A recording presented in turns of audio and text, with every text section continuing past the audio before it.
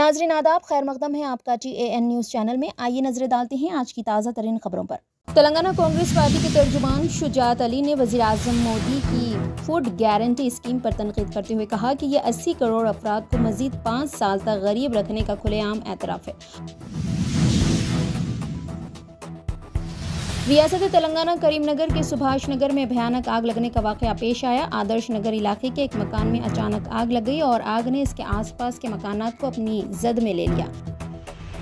Brazil के सदर Louis अनासियो लोला डासिल्वा ने इसराइल पर गजा पट्टी में फ़लस्तनी शहरीों के खिलाफ नस्ल कशी का इल्ज़ाम आयद किया और कहा कि इसका मवाजाना दूसरी जंग अजीम के दौरान होलोकॉस्ट से किया जा रहा है।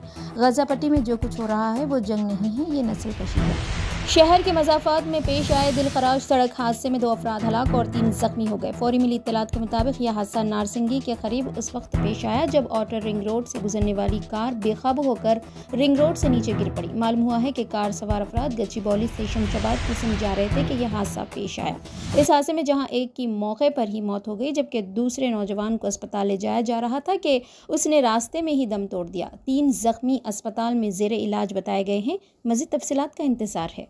तेलंगाना कांग्रेस पार्टी के तर्जुमान शुजात अली ने वजी अजम मोदी की फ़ूड गारंटी स्कीम पर तनकीद करते हुए कहा कि यह अस्सी करोड़ अफराद को मजीद पाँच साल तक गरीब रखने का खुलेआम एतराफ़ है। उन्होंने अपने बयान में इल्ज़ाम आयद किया कि जहाँ मोदी भारत को सात ट्रिलियन डॉलर की मीशत बनाने की बात करते हैं, वहीं उनका मकसद मुफ़्त खुराक की फराहमी के ज़रिए आबादी के एक बड़े हिस्से की गुर्बत को बरकरार रखना है। शुजात अली ने उम्मीद ज़ाहिर की कि आने वाले लोकसभा इंतबात में मुल्क के राय दहिंदे एन डी ए को सख्ती से मुस्तरद कर देंगे और इंडिया इतिहाद शानदार कामयाबी हासिल करेगा। रियासत तेलंगाना करीमनगर के सुभाष नगर में भयानक आग लगने का वाक़ पेश आया। आदर्श नगर इलाके के एक मकान में अचानक आग लग गई और आग ने इसके आसपास के मकानात को अपनी जद में ले लिया। इस हादसे में पाँच गैस सिलेंडर फट पड़े, जिसके साथ ही ज़ोरदार धमाके की आवाज़ें आईं और आग ने शिद्दत अख्तियार कर ली। इतला मिलते ही फायर इंजनों को तलब करते हुए आग बुझाने का काम किया जा रहा है। मालूम हुआ है कि यहाँ रहने वाले अफराद मेडारम जात्रा गए हुए थे, जिसकी वजह से वो महफूज रह गए। आग लगते ही मुकामी अफराद में खौफ की लहर दौड़ गई। हादसे की वजूहत का फौरी पता नहीं चल सका। पुलिस मसरूफ़ तहक़ात है। ब्राज़ील के सदर लुइस अनासियो लोला डासिल्वा ने इसराइल पर गजा पट्टी में फ़लस्तनी शहरीों के खिलाफ नस्ल कशी का इल्ज़ाम आयद किया और कहा कि इसका मवाजाना दूसरी जंग अजीम के दौरान होलोकॉस्ट से किया जा रहा है।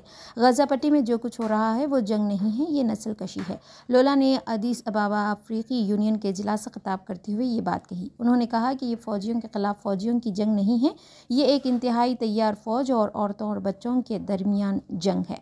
उन्होंने मज़ीद कहा कि जो कुछ फ़लस्तनी अवाम के साथ गज़ा पट्टी में हो रहा है। तारीख़ में किसी और मरहले पर ऐसा नहीं हुआ। दरहकीकत ये इस वक्त हो चुका था जब हिटलर ने यहूदियों को मारने का फ़ैसला किया था। इस्लामी तहरीक मजामत हमास ने ब्राज़ील के सदर लोला डी सल्वा के इस बयान को सराहा, जिसने उन्होंने गज़ा पट्टी में फ़लस्तनी अवाम के कत्लेआम को होलोकास्ट करार दिया। हमास ने इतवार की शाम एक बयान में कहा कि ब्राज़ील के सदर का ये बयान हमारे लोगों के सामने आने वाली चीज़ों की दुरुस्त वजाहत के तनाजुर में आया है। ये बयान सयोनी जराइम की हौलनाकी पर दुनिया भर में उठने वाली आवाज़ों का इजहार है।